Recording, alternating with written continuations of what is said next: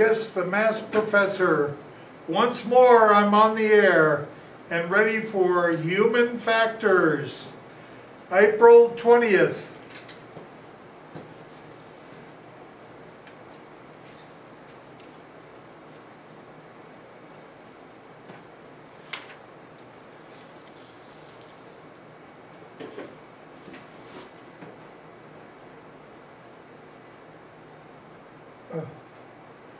All right.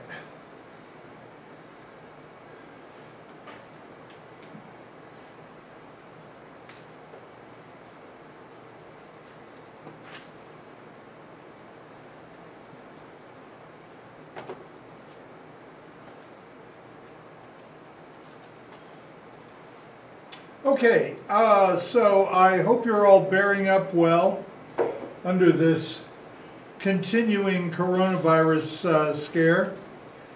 Um, uh, today is April the 20th, and uh, this class is Human Factors. Um,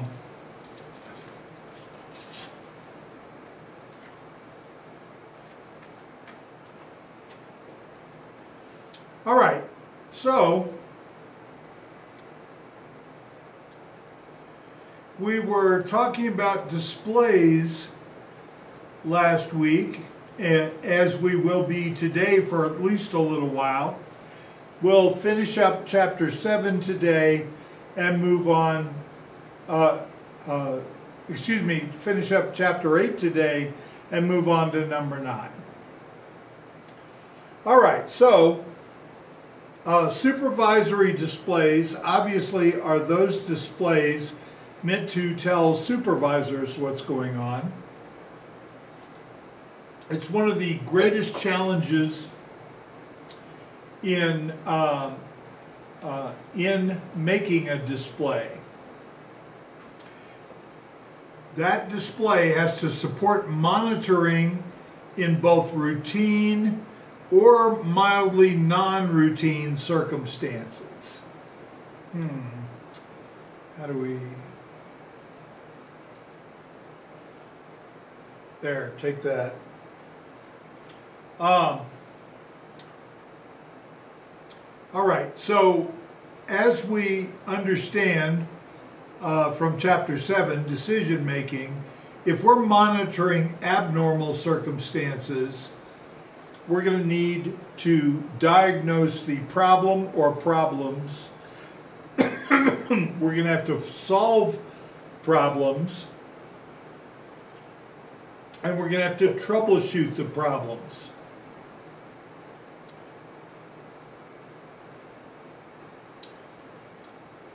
So, first let's talk about ecological interfaces. Um,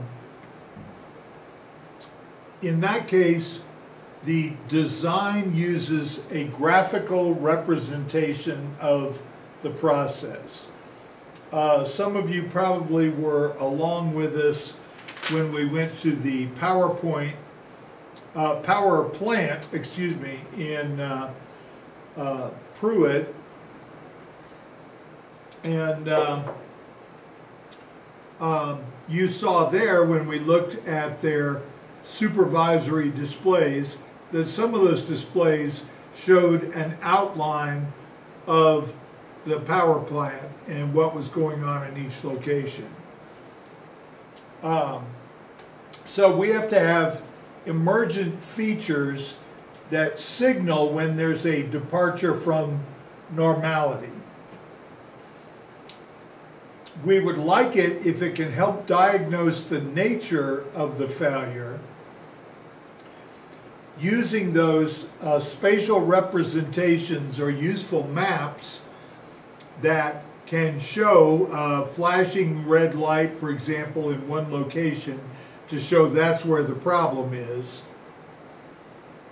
That lets our operator or supervisor reason at different levels of abstraction. Okay, well, now I'm wondering why I didn't just go ahead and do that last time. The next kind of uh, display that we'll talk about are navigational displays and maps. um, well, first of all, there's different kinds of tasks that these would uh, support.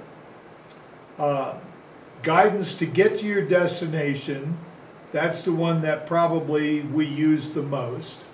To facilitate planning, to recover if we get lost, and maintain our situation awareness about the location of objects. Now this can be done in different ways. One way is the old-fashioned route list. Uh, when MapQuest first came out, oh my God, I loved that so much. I would use that all the time to get where I needed to go, particularly if it was a long way. Um, uh, because I could just, um, uh, I would have the uh, what direction to turn on what highway and how long I would then drive on that highway.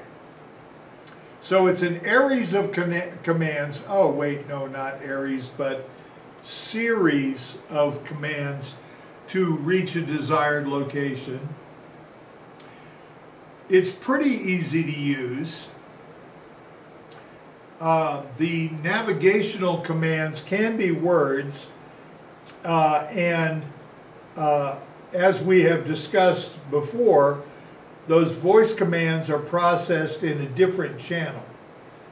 Uh, so when your GPS is giving you instructions, you don't have to take your eyes off the road and you can so you'll be able to see where you're driving.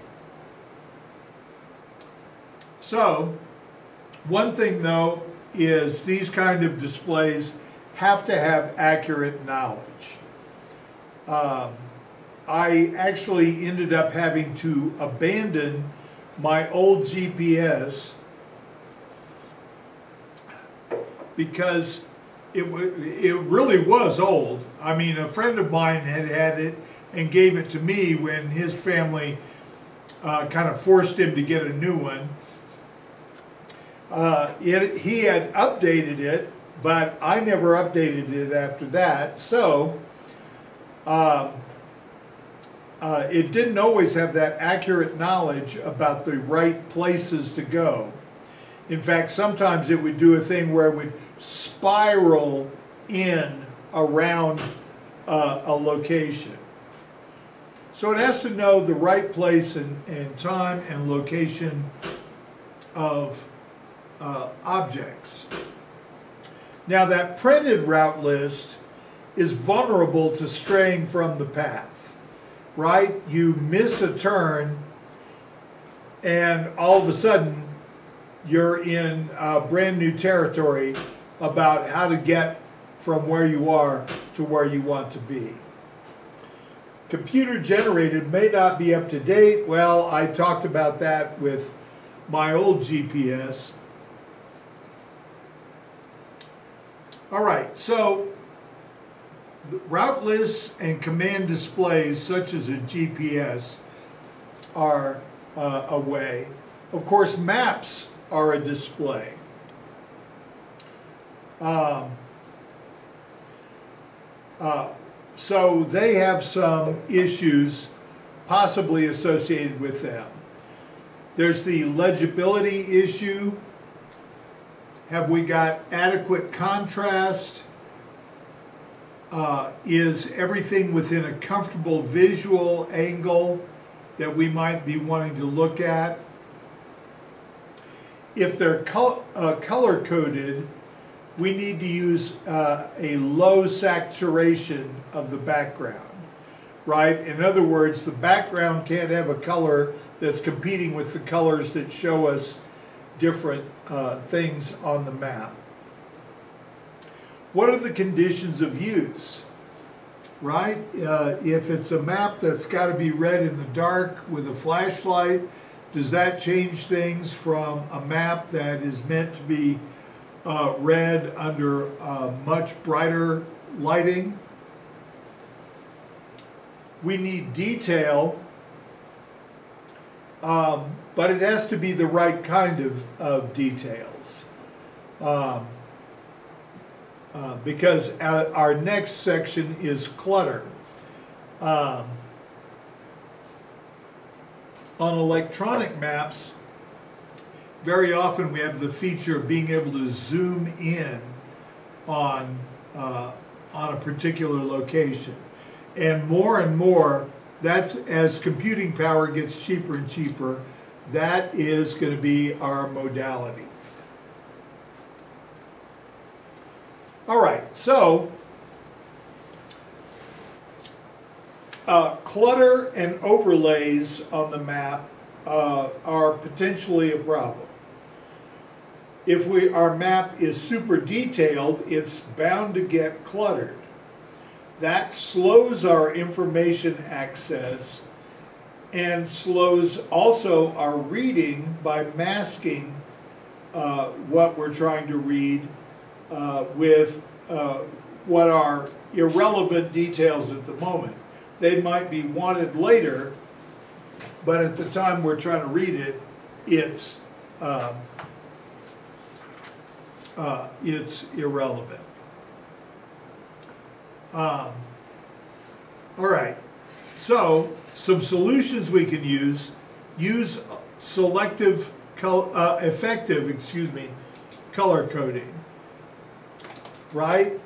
That way our selective attention can focus on just one color, right?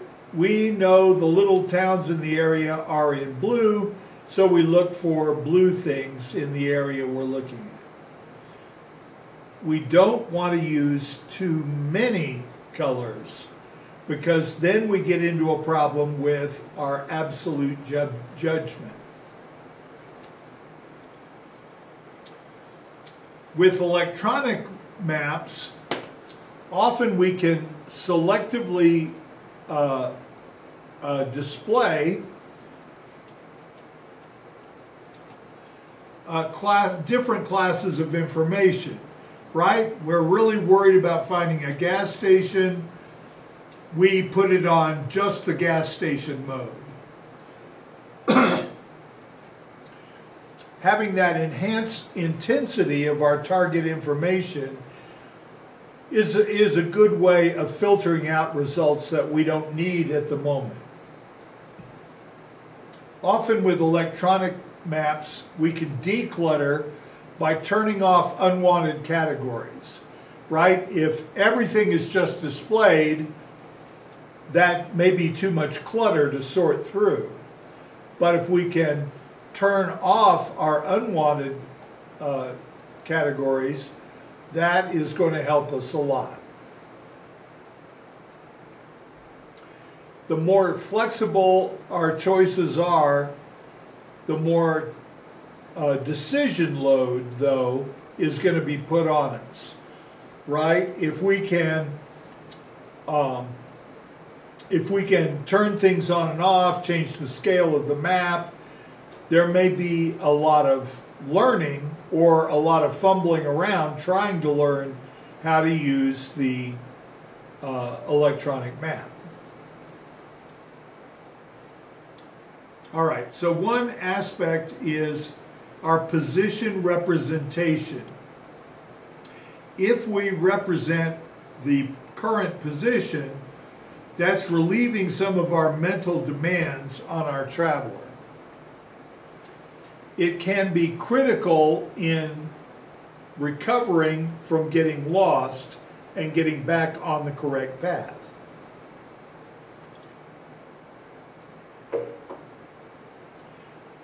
All right.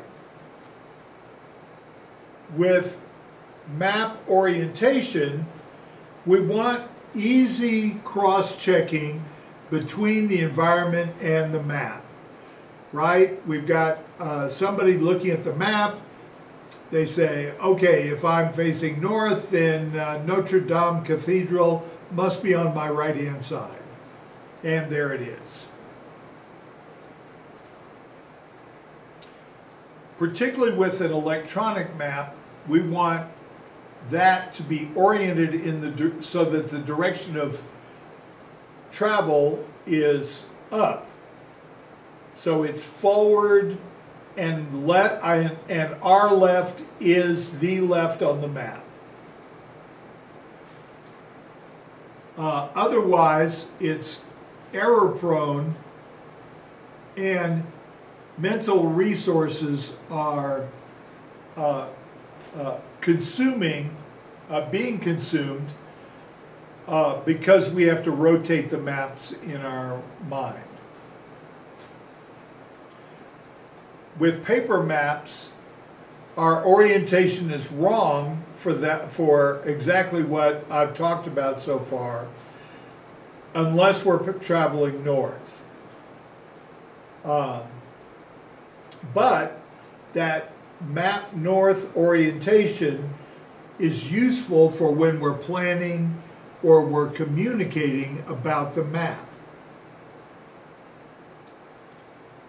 Now, electronic maps should also have the option of being able to just make it so that there is a fixed north. In other words, it acts like a paper map.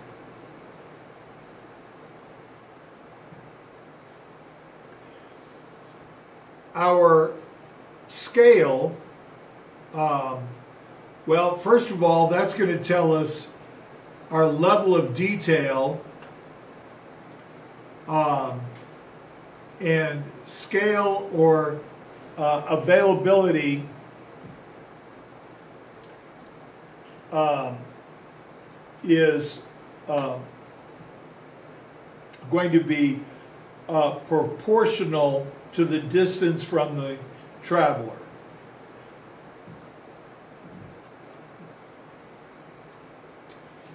Um, on an electronic map, everything that is behind you just falls off your map and, and isn't worried about. It. But electronic maps, again, should have an adjustable scale. Sometimes we might want dual maps where there's a local map showing the features that are right around us and a global map that shows us where we are in context to a larger uh, picture. So our former is ego referenced, the latter is world referenced, and 8, four, figure 814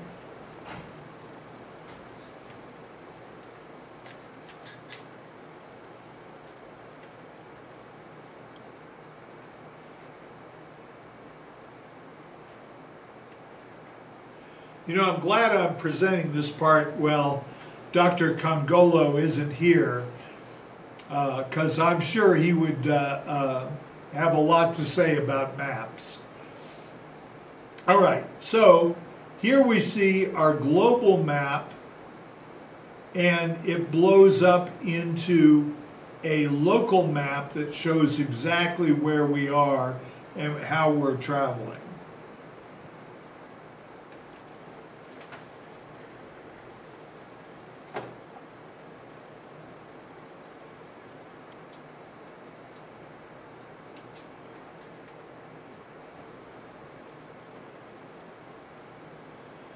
All right. Three-dimensional maps give us an advantage if we're trying to recognize the view. Um, so, but otherwise, they're really um, uh, add to clutter and um, uh, and uh, uh, may actually uh, contribute to confusion. All right, so when we're talking about planning maps and data visualization, well, up until now, we've assumed the importance of the traveler. Um, but there are things where that's not going to be the case. air traffic control, for example, vehicle dispatch. Come on. Oh, okay, there you go.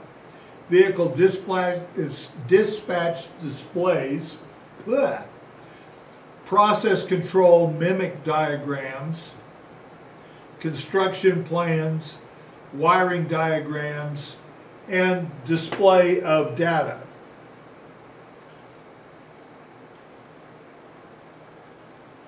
All right, so many of the features we've talked about before will still apply.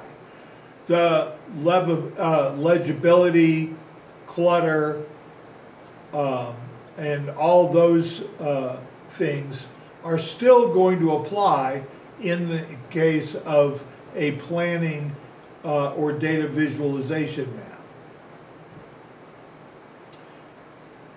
The costs and benefits of uh, using 3D become more task specific in this case. Uh, there are costs because of ambiguity caused by the 3D uh, uh, display. So we need to carefully do our task and information analysis before we're choosing 3D and make sure it's really the best way to represent what we're talking about. Uh, so we have to ask ourselves, important, is the vertical information important for decision making? Does the information have to be processed at a very precise level, which would indicate don't use 3D? Is it processed at a global level, just above or just below um, some value?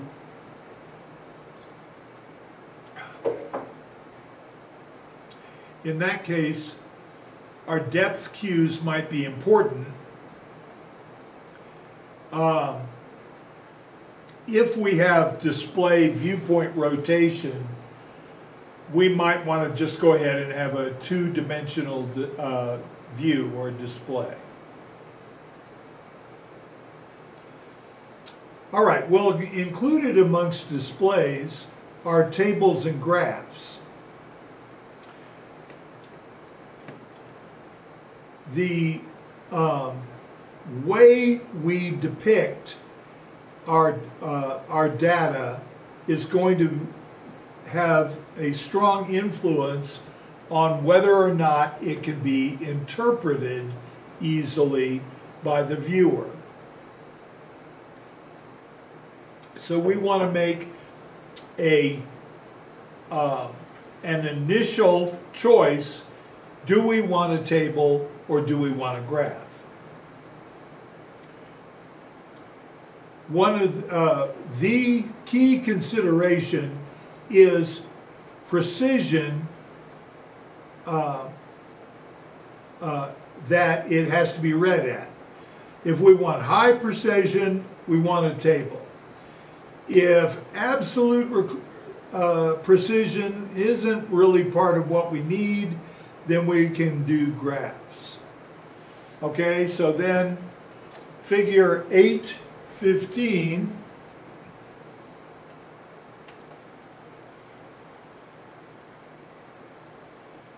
Just shows us really quickly. Here's a table with some data, and then here are graphs of, uh, uh, of that data. Okay, so which one shows us what we want to see? With the graph, you notice it's easier to spot a trend in the data.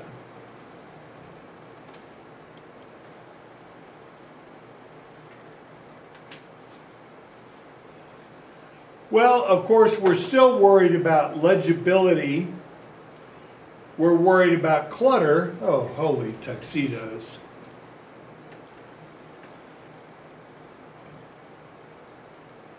Here we go. right? Uh, the left side is more confusing, uh, but on the right side it displays the same data, but by using different types of lines and larger endpoint icons, they cut down on the confusion.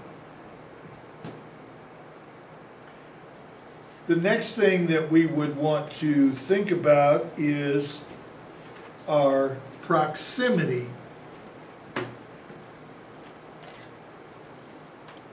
Oh, uh, uh, we go. In figure 818, right, we've got good proximity of our labels and lines. Um, in B, though, you'll notice they have it as a legend instead, which makes it a little harder to access that information. C, we have close proximity of the lines that have to be compared, as uh, compared to D, where the lines are on entirely different uh, graphs.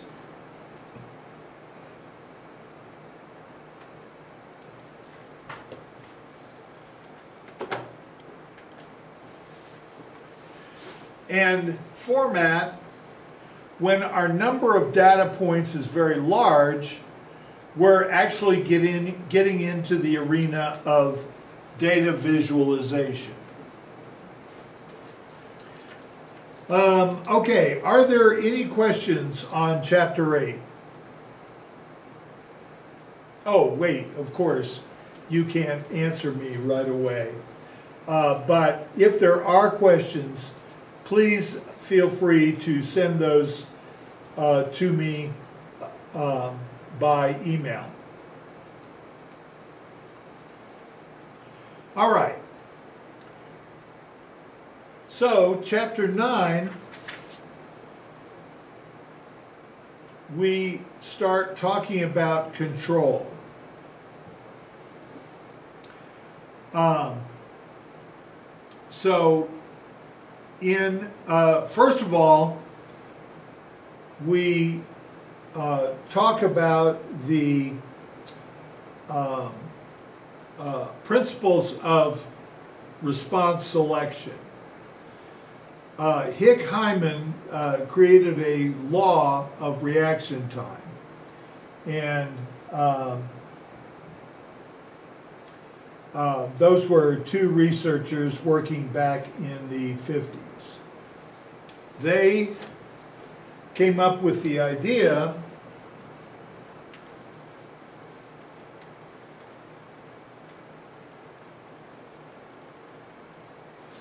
that if we just use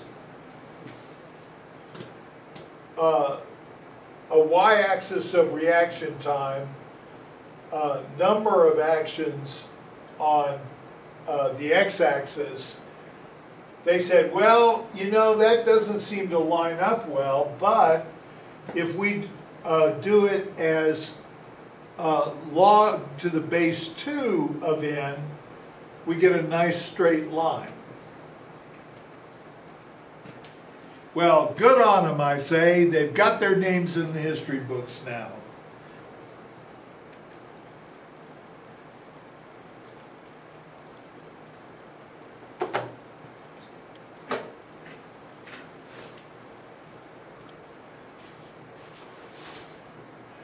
All right, so next we go to our response expectancy. Uh, when we have expectancy, that top-down processing that brings knowledge in with uh, in with our um, uh, uh, in with our response. Pardon me, one moment. The door seems to be blowing open.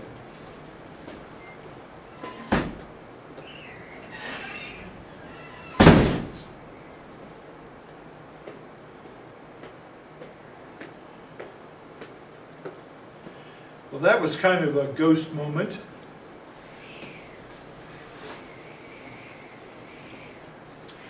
Okay, so with expectancy, that means we have knowledge. We're going to select more rapidly and more accurately what actions we will do.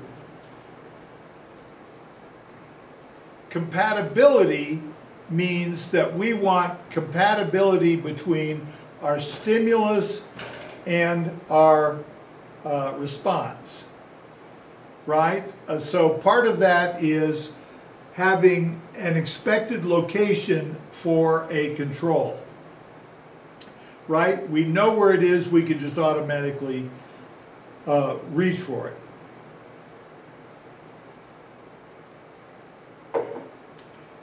The second part of that is what is the expected movement of a control response.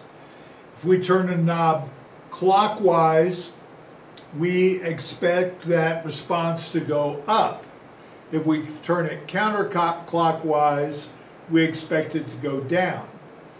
And then the same uh, situation with um, a slider. Going up should in, uh, increase response, going down should decrease our response. Of course, part of it is going to be, we're going to have a, a trade-off between speed and accuracy. So there's a positive correlation between a faster response time and the error rate. We also have a positive correlation between our speed and our accuracy. So when we make super rapid actions, we can expect more error.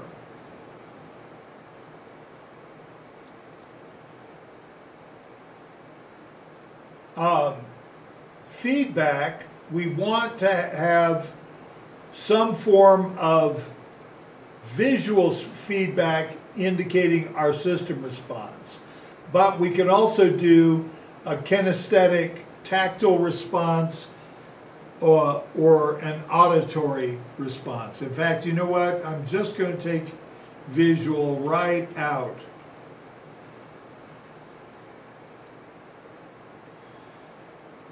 Um,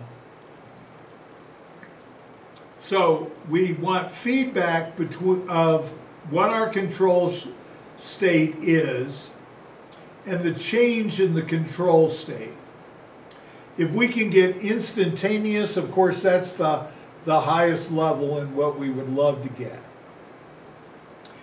If it is delayed, that's not going to be good for rapid actions because we may take an action, we're expecting something to happen, uh, and like we're really expecting something to happen this second. Well, if it's a, a, a system with high inertia or some other lagged response, that's not going to be very good.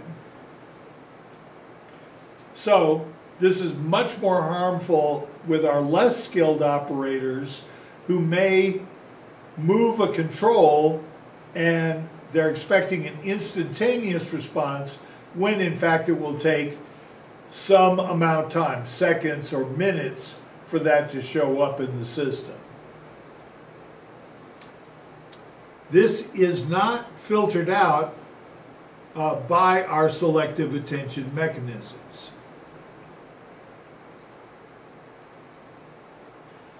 All right, so when we talk about discrete control activation, um, there are several things we need to think about.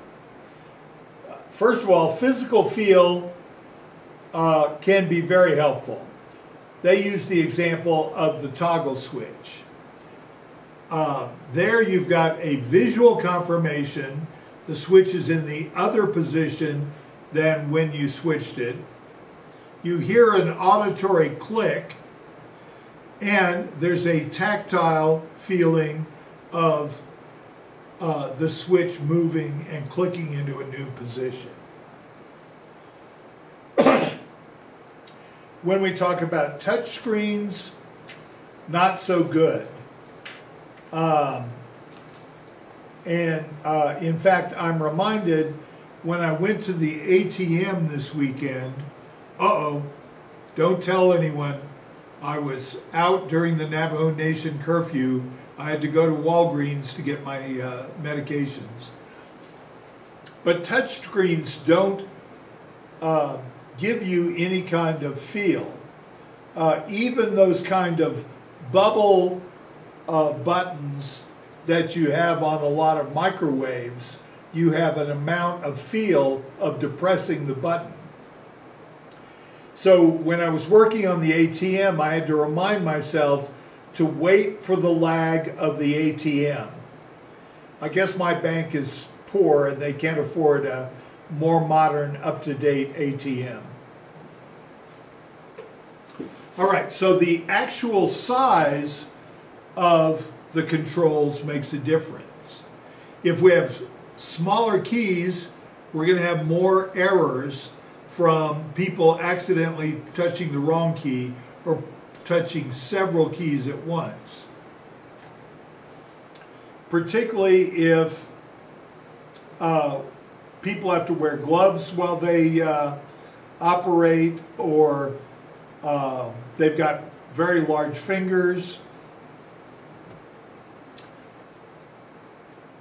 If we have larger keys and more space between them, then we have more travel time. So that so we have to strike a balance between how small and how large can we make these controls.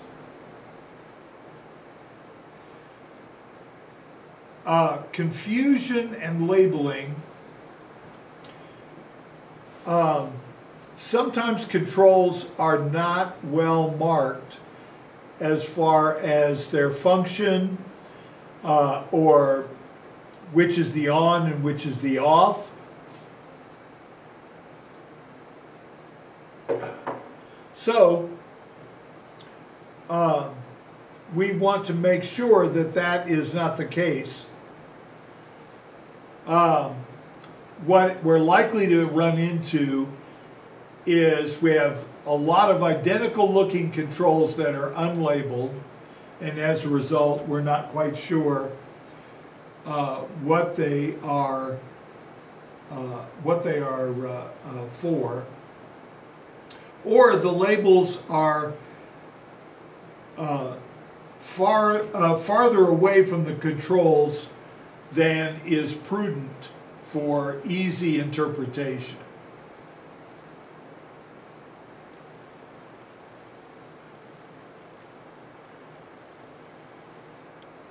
All right. So, when we talk about control devices for positioning, first of all, what is the movement time? The movement to reach the control and the uh, uh, movement to get that control um, uh, into position such as the cursor here on the computer or uh, uh, some uh, situation like that. Of course, this is all um, in accordance with uh, Fitts law, and I thought about um, including uh, movement time equals A plus B log um, to the base 2 of 2.4 divided by W, but it's like, oh, bloody hell. Um, um, on uh, page 233, though, there is a figure uh, 9.2 uh, illustrating Fitts' law. Two, two, three. All right, there you go. All right, so when we're talking about control devices, we have device characteristics. So we have four categories. there are direct position controls. Uh, so that obviously directly positions the cursor or whatever.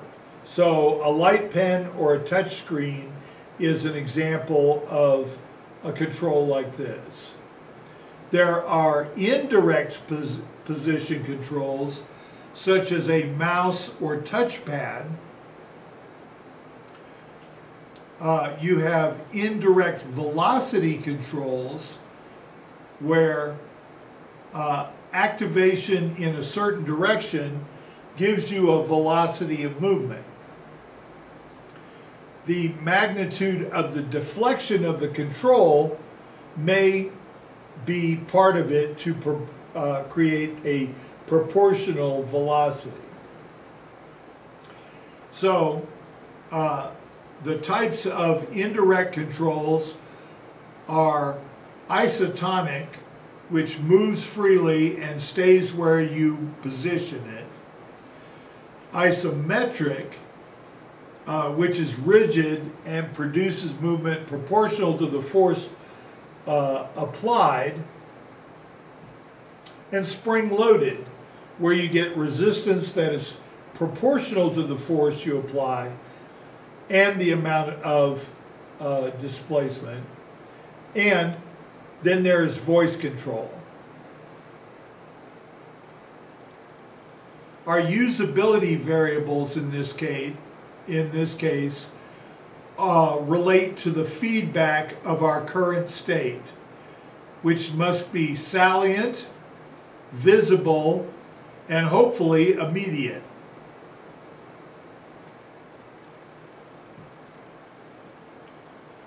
Okay, so um,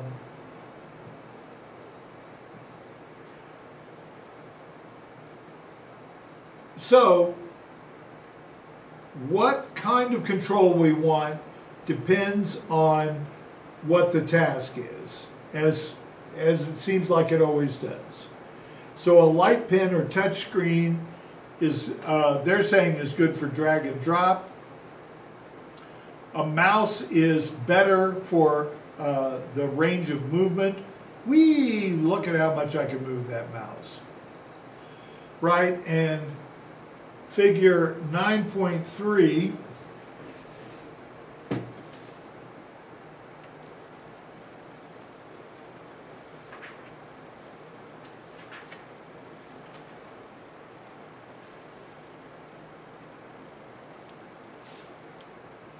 gives us a comparison uh, you can see the, uh, the y-axis is the ranking of the devices from the best to the worst. It, uh, the x-axis, we have the touch screen, the light pen, mouse, tablet, trackball, isometric joystick, and displacement joystick. Uh, and it gives you, uh, as you can see, uh, how well each of those work for the speed, the accuracy, and user preference. Okay, well, good to know.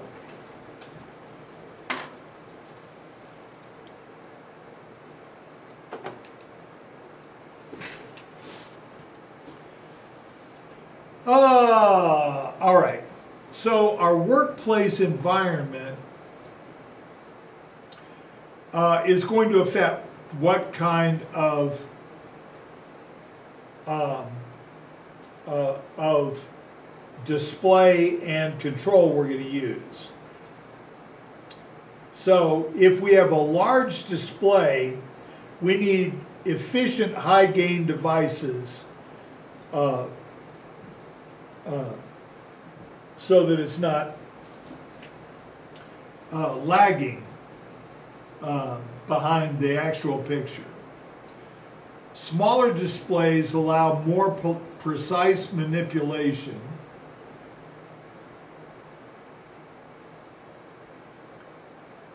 Uh, the more we can integrate our uh, controls with our keyboard. If we have to do a lot of keyboard work, we get a greater benefit.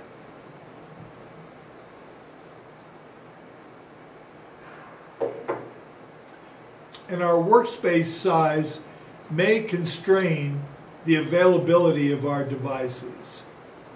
Um, uh, so sometimes we're going to have a very small space and we can't be using some big old honking uh, um, control device.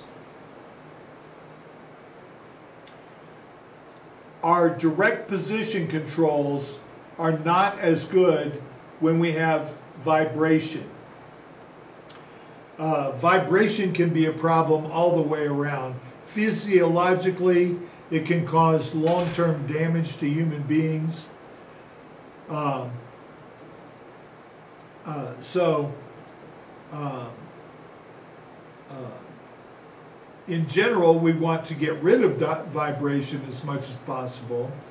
But if we have vibration, we have to be aware that certain kinds of controls are not going to be as good. All right, verbal and symbolic input devices. Uh, using a keyboard or voice control are the two interfaces of choice in this regard. Uh, if we're doing numerical data entry, then keypads or voice control is going to be our best option. If we're talking about linguistic data entry, we might use chording keyboards.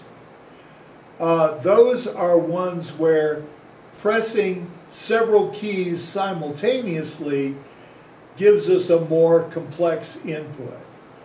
The hands never leave the chord board. It's less susceptible to repetitive stress injuries. Uh, we can get more rapid word transit transcription. Uh, unfortunately, it takes extensive learning to use a chording keyboard, and it's only knowledge in the head, it's not knowledge in the world. So, some, uh, some places where chording keyboards are used are postal mail sorting and court transcribing. Right? If you've ever wondered how they can transcribe with just those three, those few little buttons on their uh, machine, there you go. Voice input has benefits, of course. Uh, one uh, utterance uh, could present one of thousands of different meanings. This is particularly good for dual task situations. In other words, you're driving or at airports, apparently baggage handling, they're using uh, coding uh, on the bags uh, by a voice input. Uh, to have both voice and manual input available is a desirable state. Um, in case you say something wrong, um, right, you you have the ability then to go back and say, no, that's not what I meant, this is what I meant. And a lot of times, these voice control uh, type programs will correct themselves. If you go back and correct something that they put down because it was wrong, they will make a note of that against what you said, and the next time you say it, it'll come out right. There are costs for voice control. There's a lot of confusability available. There are so many, um, uh, so many English words that are homonyms, for example. um, uh, or uh, people with accents may confuse them. And you only have a limited vocabulary size for, uh, uh, for these voice controls. Now, of course, they're getting better and better, but uh, there are also constraints on the speed. You have to take time to train speech systems. Uh, again, they're, they're pretty good right out of the box, but the more time you spend training it, the better it's going to be for you. There may be a problem because you have acoustic quality, noise, or stress. Um, uh, a noisy environment is going to be disruptive, obviously, of that task. And your voice can change when you have more stress so that the system may not recognize you. Voice control is much less suitable for when we are controlling continuous movement. Um, all right, our next section is continuous control and tracking. Often we have to track a continuously moving dynamic target. So our basic elements in the tracking loop, uh, for example, driving an automobile, our human operator perceives a discrepancy or an error between the desired state and the actual state. Then he puts in a controlled out, uh, control output. The reason we say control output is because the input is the perception of what's happening and then the, the output is what they do to the controls as a result. That results in a system output, and we say that system dynamics is our relationship between our control put and our system output. Now there can be errors because of command inputs. Uh, you might hit the wrong button or move the wrong switch or disturbance inputs. Uh, you're driving down the highway you blow a tire, and suddenly uh, you are having a hell of a time controlling the car.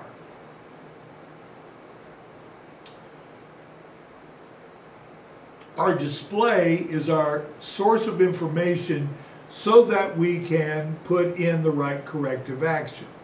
Right? In a car, the display is going to be the windshield, where your primary viewing area is going to be concentrated on the most important uh, part of uh, uh, the driving.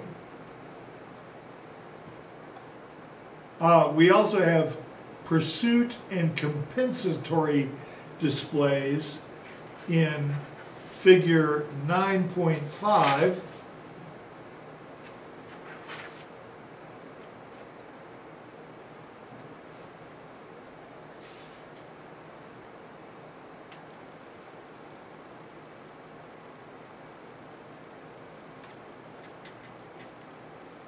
Okay, so in this case, we see the uh, display uh, that a driver would see. They're looking through the windshield, they see the road, uh, and they may see part of the car. Although more and more, they're dropping the hood enough that you have to really strain to see it. In on the B side here, the uh, cross represents the actual uh, the actual position of the airplane, whereas G is the glide path that it should be uh, uh, following. Okay, so, and we can see there's somewhat of an error between glide path and position of aircraft.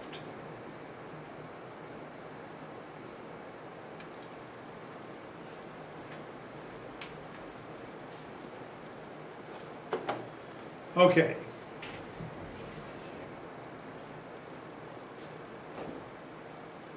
All right, so our input is very easy if there are few corrections, right? We're driving down a straight road, um, pretty easy to stay on task. If it's a very curvy road uh, that has a lot of different textures on the surface, that can be very difficult. All right, so let's talk about the control order. A, uh, a position control, for example, when our change in position of our control uh, device, hmm, I'm going to go ahead and just put that there. Yeah, that's the ticket. Uh, when it leads to a change in position, that's what we call a zero order control. A change in velocity is a first order, and a change in acceleration is a second order.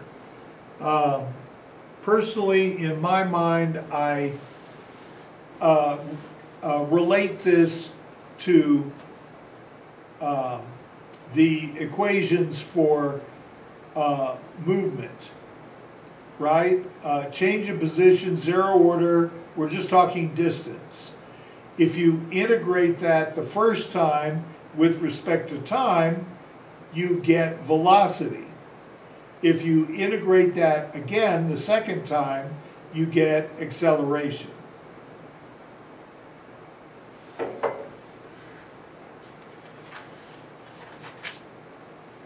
And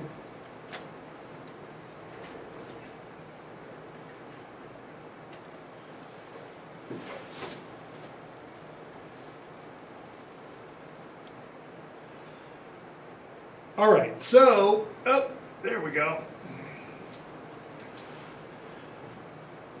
Uh, right, so here's our first order, our, our zero order uh, control, right? We're talking about um, uh, position, we've got our output and our input. In B, we're looking at the response time of a first order system, uh, right? But there's a lag between input and output in, uh, and that lag can be quite a lot. Then D is a second order system. Um, we have to tilt the board so that our cylinder rolls back and forth. Right? So, um, but E shows us that typically we have a lot of overcorrection and oscillations uh, in a second order system.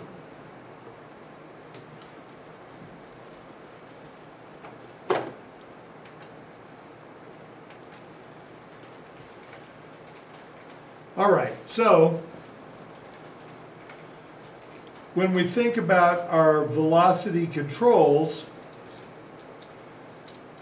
we want our control devices for first order to have a neutral point that is marked or even one that the control automatically returns to uh, if, uh, if you let go of it.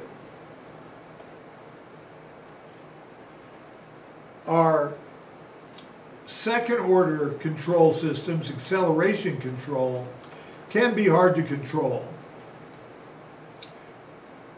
they're more success, successful if the operator can anticipate for future error. And our tracker slash operators must be able to perceive um, perceive the trend of what's going on. Okay, so time delays and transport lags. When we have these kind of time delays or there's a lag because something has to move from one place to another before it uh, comes into effect, we start to have the same problems of anticipation as we do in higher order systems.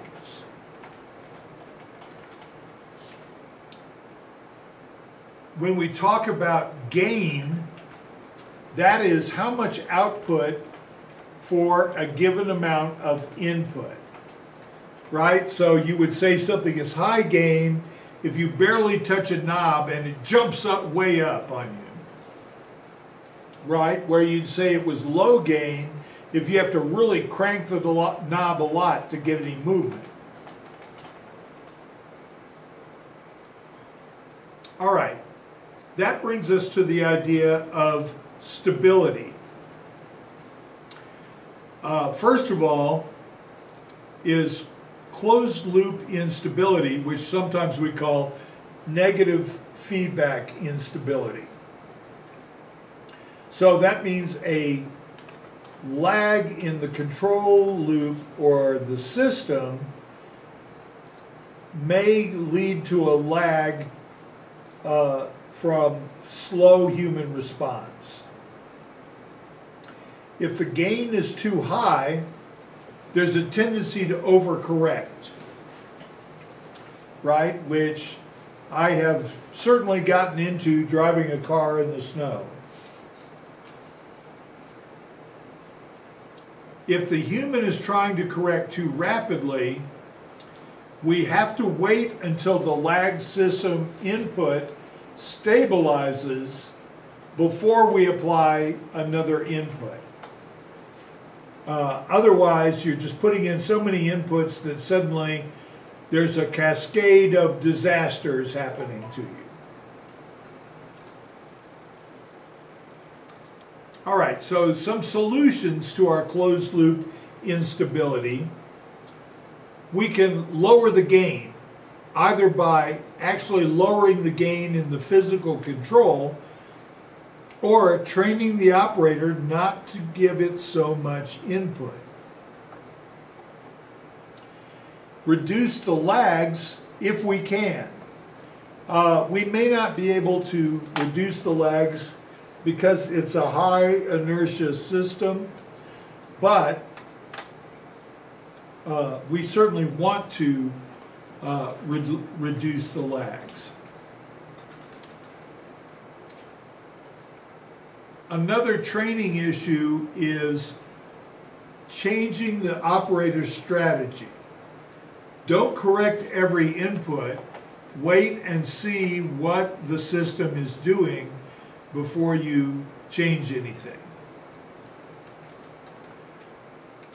Uh, we can also change the strategy on seeking our input anticipation and prediction. Or we can change our strategy by going to an open loop idea. So we've been talking about closed loop systems. What is an open loop system? Well, in an open loop behavior, the operator is not trying to correct for just the inputs uh, that come up after the system lags. The open loop behavior means our operator has to have knowledge, know where the target is going to be, and high pow, or just how the system is going to respond to the input control. Um, I, uh, um, I remember living in an apartment where it was extremely hard to adjust the controls on the shower. And before long, I learned exactly where to set those on the first try so the shower was at the optimal temperature. Um, next, we have the problem of remote uh, manipulation, which is sometimes called telerobotics. These are uh, situations where direct control uh, uh, is desirable but not feasible. Uh, right? So we're talking about a situation where you're handling nuclear materials would be desirable to do it in person, but not good for your health. Um, controlling the Mars rover, desirable to do it in person, but not feasible. Right? So we're talking about remote manipulation and or hazardous manipulation. So, usually in a system of this sort, you have time delay. So there's delay between the manipulation of the control and how soon we get feedback, right? So very similar to a high inertia system. Again, the delay may be from sluggishness because it is a high inertia system.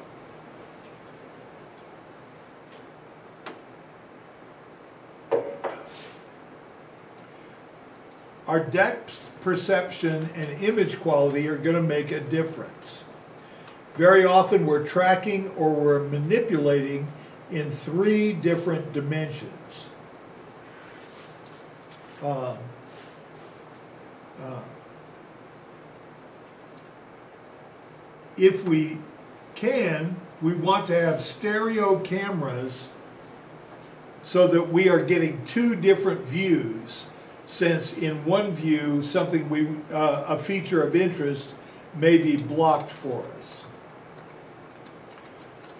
There's going to be a trade-off between that image quality and the speed of our image updating. And this is going to be much more severe with a more dynamic system.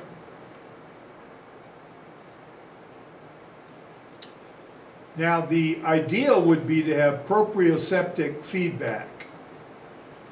In other words, we would like to have the same touch, feel, pressure, uh, and resistance as when we grasp objects with our hands but it's very challenging to present that feedback uh, uh, effectively to the operator.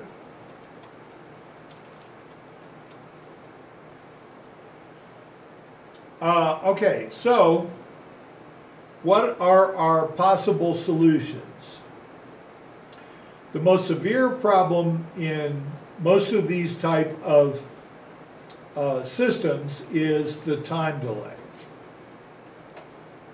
If it's from graphics complexity and it's not updating fast enough, sacrifice some of that complexity. Go to a simpler uh, pictorial representation. Um, we can develop a predictive display that anticipates our future motion and position. That can be very helpful, although it may not uh, be easy uh, to do. We can implement a computer model of our system dynamics where our operator programs the moves they would make into the computer model, correcting that as they need to. Uh, and then the computer implements the model later. Uh, the drawback, though, What if conditions have changed? The, um, the input that we have programmed in might not work. Okay, well, that is it for human factors class for today. Um, and I will be uh, posting this video in Moodle along with uh, homework. So, carry on. Stay safe, stay out of trouble.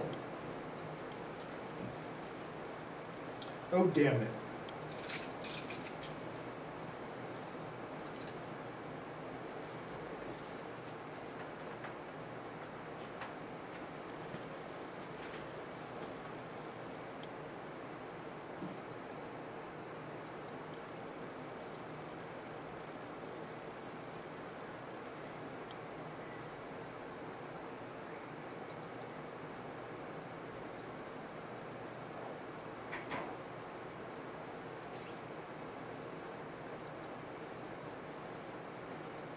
All there you go. Now you'll get a nice updated outline. All right, that's it for April the 20th, 2020.